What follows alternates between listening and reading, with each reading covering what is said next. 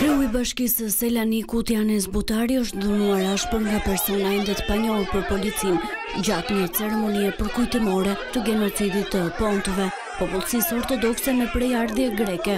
e cila u dëbua me dhunë nga trojet e saj në Azinë e Vogël nga turqit. Mediat greke shkruajnë se ai është dhunuar për qëndrimet e tij ndaj çështjes së emrit të ish Republikës Jugosllave të Maqedonisë.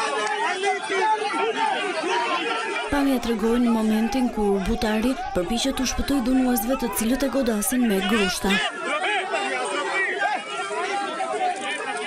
Më godisnin nga të gjitha anët me grushte, me shkelma dhe me ç'të mundnin. Ishte një sulm i tmerrshëm, por fatmirësisht jam mirë, tha shtatëdhjetë e pesë vjeçari sot pas daljes nga spitali.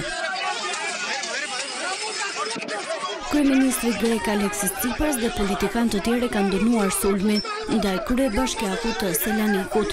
Mediat greke shkruajnë se vetëm Agimi i Artë nuk ka reaguar ende, E për pasojë mendohet se dhunuesit janë anëtarë të kësaj partie. Kreu i Bashkisë së Selanikut, Janis Butari, është kritikuar ashpër nga qarqet nacionaliste greke, edhe kur ka mbështetur hapjen e shtëpisë së Qemal Ataturkut në Selanik.